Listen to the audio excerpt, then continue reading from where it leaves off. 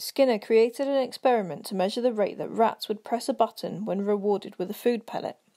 To do this, he placed a rat in a Skinner box, which is a specially designed box that features a lever that releases a food pellet when pressed.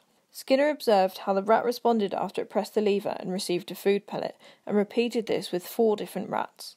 Two of the rats pressed the lever just once before continuing to press it a lot to receive the food. One rat pressed the lever once, then an hour later pressed it again, and continued to press it a lot to receive the food.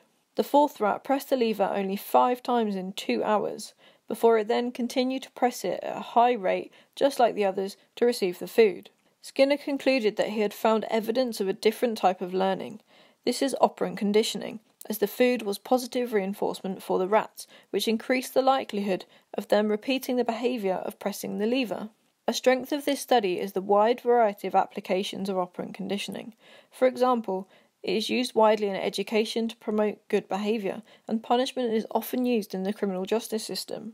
However, one of the main weaknesses of this study is that it was done on rats. It is difficult to generalize the results from rats to humans.